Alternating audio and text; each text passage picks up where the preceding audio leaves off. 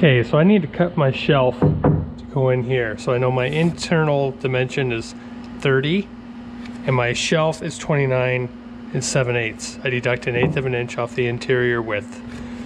Now to get this funky angle here, and it is funky, that's 20 and a quarter from this edge to there. I'm deduct a 16th because overall I'm smaller by an eighth. So I want equal uh, space on either side. So I deduct a 16th of an inch. So that's going to be from the edge of my shelf to the start of the cut here is going to be 20 and 3 sixteenths. Make sure you mark it right on the edge. Okay, 20 and 3 sixteenths. Now I know my depth is a half inch shallower than the actual cabinet.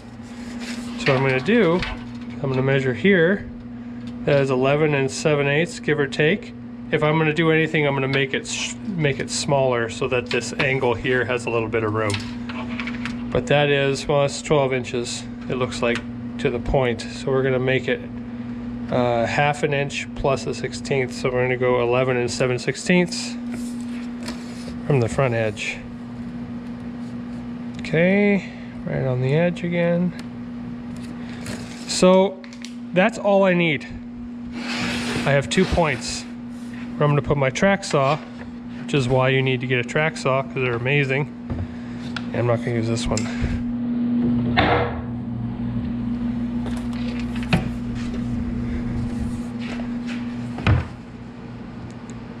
Take my track saw, line it up on the edges of those marks.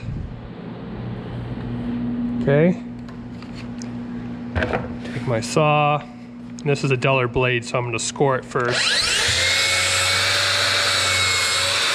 Yeah, the Makita has a scoring feature, which is nice. It only goes a couple mils in. Push that in, scores it.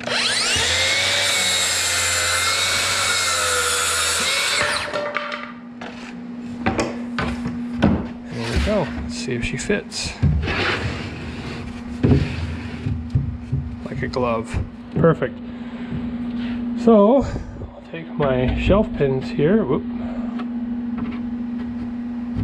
Just three up. All the way around.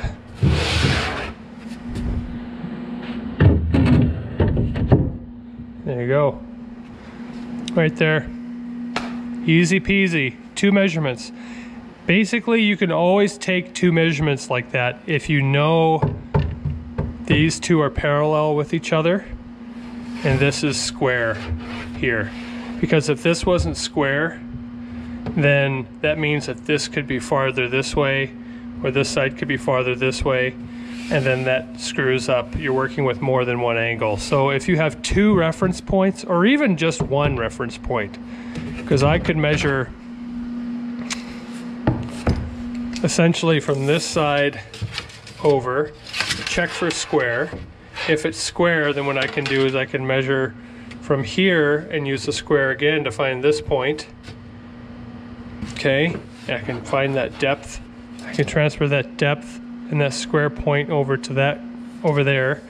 Basically, you're just trying to find some place to start from. Some place flat or some place where you can uh, most um, reliably find a reference and you start from there.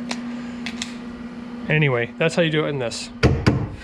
Hope this helps.